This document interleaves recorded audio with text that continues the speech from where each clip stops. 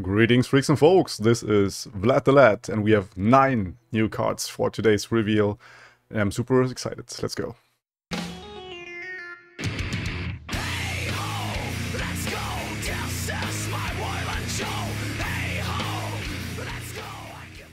I was just done recording another special video for you guys. If you want to see that, you should stick to the channel and subscribe. Um, but other than that, uh, yeah, I was just ending my recording session and I uh, saw it's already after 6 p.m. CET and we have new cards. So let's dive right into this. We start with, it's reaction by the way, I didn't saw the, the cards before. A 2 mana Boom Baboon. I really love the name. It's a 3-1 body for 2 mana, it's quite understated, and it says when I'm summoned, create a Flame Chompers in hand. Ooh! Wait, a Flame Chompers, that's the, the 0-2 with Challenger that you can summon when, when you discard it. That's insane! Oh, I, I love it. And especially the stat line is very, very good for this unit. You don't go down in card advantage, and you have a 3-1 body with it. That's just perfect. I don't know if it does make the cut in a discard aggro deck though, the one with Jinx and Draven. I think it's almost perfect to an extent, but they these build builds will definitely um, experiment with that for sure. Alright, then we have the Glorious Evolution. and there is, of course, Viktor in the, in the picture, and it's a 10 mana slow speed spell. So we have to compare it to things like Ruination or Singular Will, I think is the other card from Ionia. And it says replace your cards everywhere with exact copies of themselves. They have minus one cost, augment, and they are now tech. What the actual fuck? oh. And this is the moment where I don't know why they released cards beforehand. I'm, I'm talking about this 1 mana 1 3 that um, tech cards in the future or all that are summoned afterwards share the keywords. I will have it here. I don't know the name right now. I think it was a bot number X, Y, Z. And now if you play this card and then the one one drop, you will actually share all the keywords with everything. So it's sort of a Zoe leveled up version for everything. Plus, they all cost one mana less, and they have augment. I guess this will be a meme most of the time because you don't with with that you have no or you have very low control potential with PNZ, and also you have no healing. So PNZ is almost the worst region where you want to have a 2 mana spell, uh, 10 mana spell. But uh, I will experiment with that for sure and join the glorious evolution. Then we have Shifting Sands, which is a 6 mana slow speed spell. Why all these high cost slow speed spell for Shurima? And it says deal 4 to units, summon 2 sand soldiers.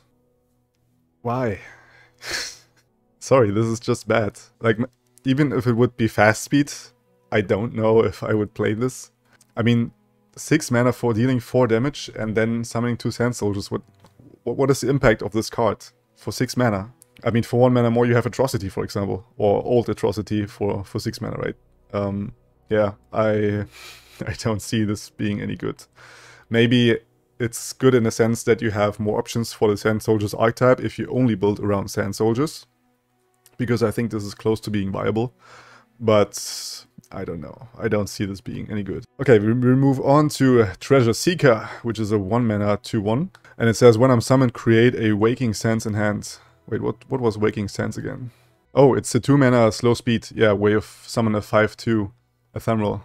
Huh, is that any good? Probably not either, because the card is just bad. But I guess in the future, if you want to run this card, you will run the Treasure Seeker instead of the Waking Sands. Is my my best guess because you don't go down in card advantage but you get a early body to one body um yeah i don't see this being any good either because waking sands is a 5-2 ephemeral you can block this with the 1-1 and that's it and that's two mana pretty much wasted most of the time but the fact that this is ephemeral makes it good for ephemeral decks so maybe treasure seeker finds a home there but other than that I don't see it. Alright, then we have a 5 mana burst speed spell for Shurima. It's The Time Has Come. It's summoning a Clockling, that's always something very good if you have burst speed summoning any units. And it says, if you've predicted this game, summon 2 instead. Huh.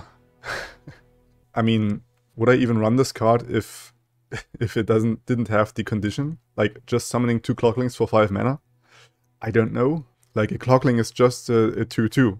Flat 2-2 with nothing. So this is good for open attacks, I guess, where you can do, without passing initiative, attack with two more 2-2s. And you can provide two block of 4-5 mana uh, at burst speed. So this has some good uh, implications, but other than that, doesn't doesn't have any synergy from what I can think of right now. So, yet again, I don't know if this is any good. So none of these releases so far were super crazy or anything. So uh, yeah, let's let's see on here. We have another very high cost landmark for Bilgewater yet again, another landmark. It's the Reaver's Row, and it says when I count down, summon a random one cost follower Countdown 2, grant 1 cost allies plus 2 plus 1 and fearsome. Ooh. I think that's trash again. I'm sorry to be the, that negative this video, but this card is not good. And the reason for that is you don't want to have one cost followers at turn 7, where this goes off.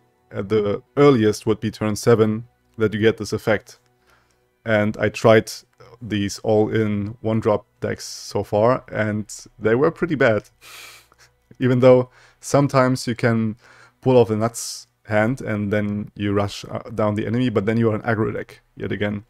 And a 5 mana landmark that goes uh, off in turn 7 isn't any good in aggro decks. So I will experiment with it for sure, because I love the archetype and I had this deck for quite some time.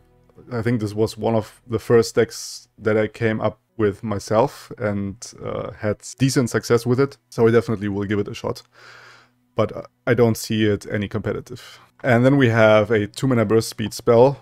Sounds better already. Line them up. It says summon a powder keg and create a knock him down in hand. And knock him down is a 1 mana slow speed spell, deal 1 to anything. Alright. How good is that? I think that's pretty decent. Like summoning a powder keg at burst speed can can lead to some nutty things where the enemy taps out, for example, like you put some damage spell on the on the stack, then the enemy stops uh, taps out with their mana, and they can't kill the keg that they potentially could kill, and then at burst speed you summon a powder keg, and all of a sudden this damage effect that you have will just burst for one damage on everything more. For example, I don't know any AOE effects or something. So I, I could see in the in the right deck, like this is very versatile, and this is also something I love. And to my eyes, this is the first thing that could be close to being competitive. Let's go with that. I definitely will experiment with this in the future. Like with almost all the cards there are here, even though most of them are bad. But I will try my best. Maybe I find a home for them. And last but not least, we do have the most adorable the most adorable card there is um, from this today's reveal, and it's the Volunteer Elnuk, and will definitely be the thumbnail for today's video. It's a 3 mana 3-4, so pretty well set it. And it says, when I'm summoned, create a random Elnuk on top of the 6 cards of your deck. We have Elnuk support! And all of a sudden, Troop of Elnuks gets way better, because Troop of Elnuks as well will search in the top 6 cards of your deck and will auto-spawn the Elnuks. Um, if you were playing back in the times in a beta, this, this card was pretty nuts and uh, considered being toxic and being overpowered. So maybe we will see a time yet again where Elnuks are overpowered and also the Call of the Wild, where you search in the top four cards for any Elnuks, Poros, and something else more that I forgot now.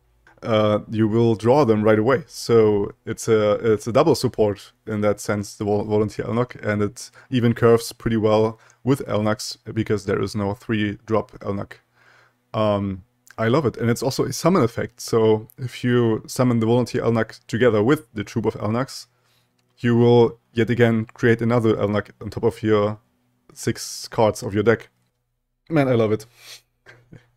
I love that with this card package, they prove that they don't forget their old archetypes, and this is something where I have to say, right? Clap, clap. This makes me hopeful for the upcoming patch that they also will buff any very long forgotten cards like Scrapshot, Sun Coast. Unfortunately, they already said they won't buff Sun Coast, but time will tell. Maybe they will buff it in the future.